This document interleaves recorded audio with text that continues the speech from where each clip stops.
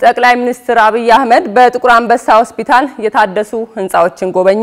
ጠቅላይ ሚኒስትር አብይ አህመድ ከጤና ሚኒስትር ዶክተር አሚር አማን ጋር በመሆን በጥቁር አንበሳ ሆስፒታል በባለ ሀብቶች ድጋፍ እየተደረገላቸው ካሉ ህንፃዎች ውስጥ እድሳታቸው ሙሉ በሙሉ የተጠናቀቁ ስምንት ህንፃዎችን ጎብኝቷል።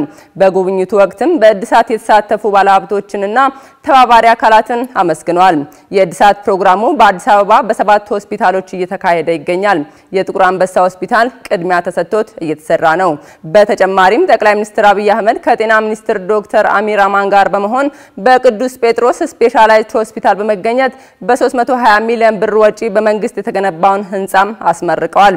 በቅዱስ ጴጥሮስ ስፔሻላይዝድ ሆስፒታል ተገንብቶ የተመረቀው ህንፃው ከ300 በላይ ህመምተኞች ተኝተው የሚታከሙባቸው አልጋዎችን የሚይዝ ነው። የህንፃው መገንባት በቅዱስ ጴጥሮስ ስፔሻላይዝድ ሆስፒታል ከሳምባ ነቀርሳ በተጨማሪ በሌሎች ዘርፎችም አገልግሎት እንዲሰጥ የሚያስችል መሆኑ ተነግረዋል።